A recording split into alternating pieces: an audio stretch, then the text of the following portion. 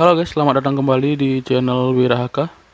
Di video kali ini saya akan berbagi ke kalian semua cara memperbaiki foto jadul kalian yang sudah rusak hanya menggunakan situs online untuk memperbaiki foto tanpa harus download aplikasi tambahan. Oke guys, kita lanjut ke videonya. Buka aplikasi Chrome, kemudian di homepage atau di wilayah pencarian kalian bisa ketik di situ hotpot.ai ya. Kemudian kalian mulai. Nah, ini dia. Setelah tampilan seperti ini kalian bisa klik garis tiga yang ada di pojok kanan atas ini. Kemudian kalian pilih AI Tools.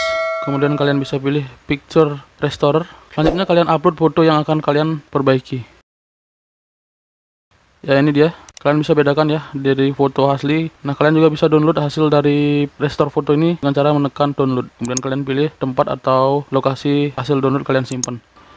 Oke okay guys kita lanjut ke tutorial bagaimana cara membuat foto hitam putih kalian menjadi berwarna tanpa harus menggunakan aplikasi apa-apa. Yang pasti kalian di handphone kalian sudah ada browser ya. Kalian bisa menggunakan browser Chrome atau Google. Saya di sini akan menggunakan browser Google. Kita buka dulu aplikasi Google, kemudian kita ketik di bila pencarian yaitu hotpot.ai. Kemudian cari. Nah, setelah tampilan seperti ini kalian bisa klik e, garis tiga di pojok kanan atas. Kemudian kalian pilih AI Tools kemudian kalian pilih Picture Colorizer. Selanjutnya kalian bisa upload foto hitam putih kalian. Tekan yang ini kemudian selesai. Setelah foto hitam putih kalian terupload kalian tinggal tekan Colorize. Nah ini dia dari awal foto hitam putih kalian kalian colorize menjadi berwarna. Untuk mendownload gambar ini kalian bisa tekan tulisan download kemudian kalian simpan. Setelah itu kalian buka. Nah ini dia foto yang hitam putih tadi setelah di colorize di situs hotpot.ai hasilnya seperti ini.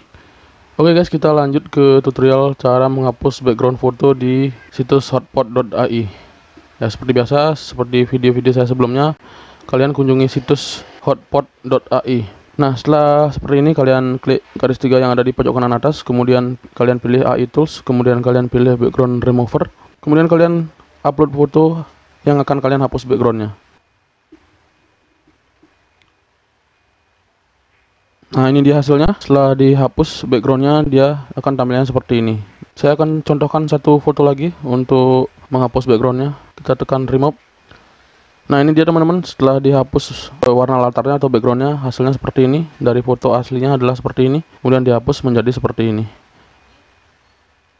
Untuk menyimpan kalian bisa tekan download kemudian kalian simpan